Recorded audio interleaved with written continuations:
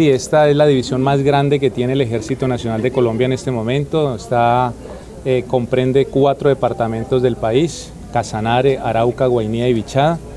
Y tiene una importancia muy importante este día porque estamos cumpliendo 10 años, 10 años sirviéndole a todos los ciudadanos de la Orinoquía colombiana, llevando allí nuestros soldados que están desplegados en la llanura, que están desplegados en los ríos, que están desplegados en el piedemonte, eh, precisamente eh, dando esa seguridad tan necesaria para que todos los procesos de desarrollo y progreso de los pueblos se puedan dar.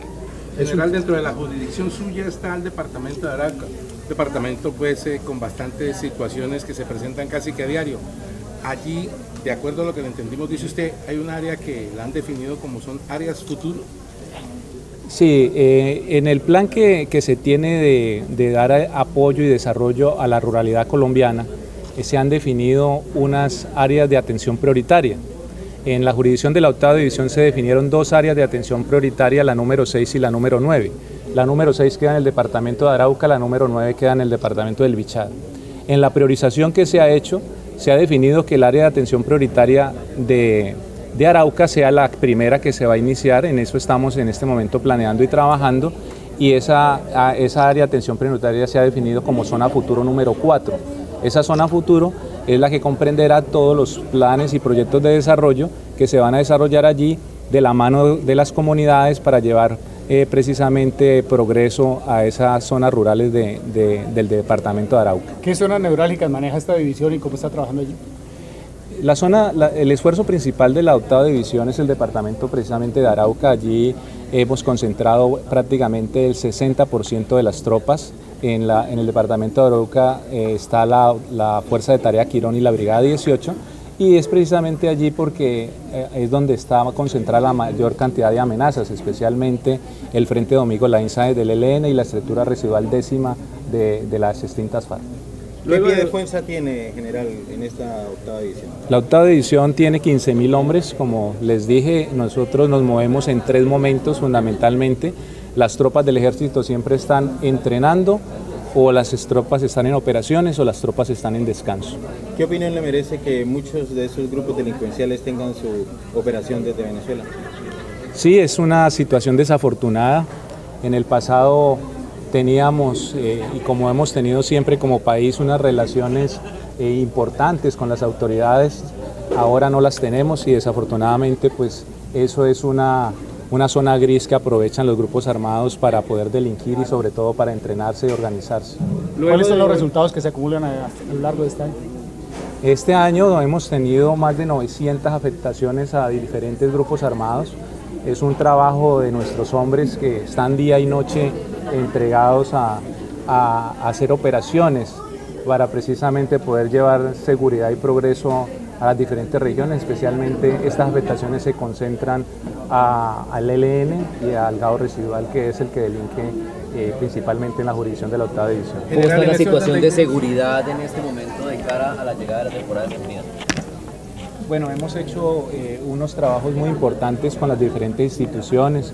Eh, cada día que hay posibilidades, viene un, periodo importante de vacaciones donde regresan las personas que están estudiando, que están trabajando en diferentes regiones. Vamos a mantener ese dispositivo integrado con policía para garantizar la movilidad en los diferentes ejes viales y esperamos que pues la situación en el departamento del Casanare, de Arauca, del Guaní del Bichada se mantenga tranquilo y que toda la comunidad pueda disfrutar de estas festividades en familia como corresponde a las personas de bien de este país. General, lleva usted ocho meses en el mandato de la, de la octava división como comandante. Eh, ¿Cuáles son esas operaciones más resaltadas en, en el mandato? Bueno, las, los resultados operacionales este año han sido muy importantes, no solamente por la cantidad de afectaciones que se le ha causado a la amenaza, sino por la calidad de los resultados que hemos tenido. En este orden de ideas hemos tenido, hemos afectado más de seis cabecillas de comisión del Frente Domingo Line Science. Eh, hemos tenido, por ejemplo, el cabecilla de la Camilo Cienfuegos que fue neutralizado en combate. Eh, hemos tenido eh, ese es alias Darío, capturamos al cabecilla de los Tropos, que es una unidad del batallón Héroes y Mártires especial, como fue alias Cambumber. Y también de la compañero Tomás hemos capturado al cabecilla en dos oportunidades, Hemos afectado absolutamente todas las estructuras del Frente Domingo Line Science en operaciones que hemos realizado en el departamento de Arauca. El Frente José Daniel Pérez Carrero, que es un frente que están haciendo o que quieren expandir el, el ELN en el departamento del Bichada, también fue capturado el cabecilla militar de ese frente, alias el sargento.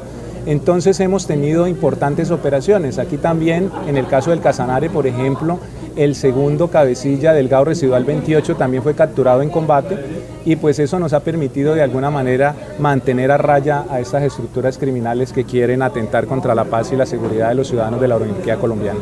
¿Cómo maneja la sensación de seguridad en Arauca, las personas? ¿Y qué llamado le podría hacer a la gente para que sigan, sigan creyendo en la fuerza militar?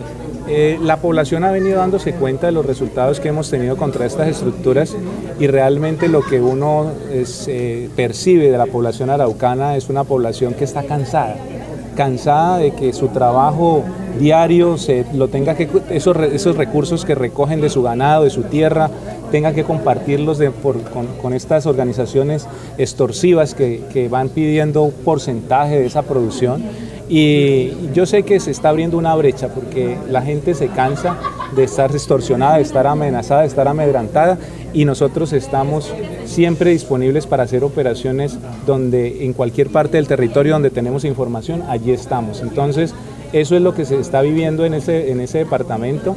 Desafortunadamente, como, como les decía al principio, la frontera nos genera una zona gris ahí difícil, pero estamos en este momento trabajando de la mano con todas las organizaciones eh, para fortalecer sobre todo la inteligencia, porque allí no solamente es el trabajo de las, sobre, las, sobre las organizaciones armadas, sino también hay que hacer un trabajo muy importante en el tema de las finanzas ilícitas que se han convertido en el lavadero de estas estructuras criminales en esa región de estos departamentos. General, frente al tema del que empezó el, el, anterior 21 de noviembre, las marchas y todo eso, ¿cómo lo viene manejando la octava división?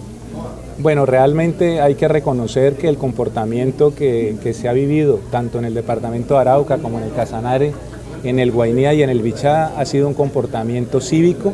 Las personas han salido, se han concentrado, han hecho su, pro, su, protesta, pero la han hecho de manera pacífica. Hasta el momento no hemos tenido ninguna situación que lamentar.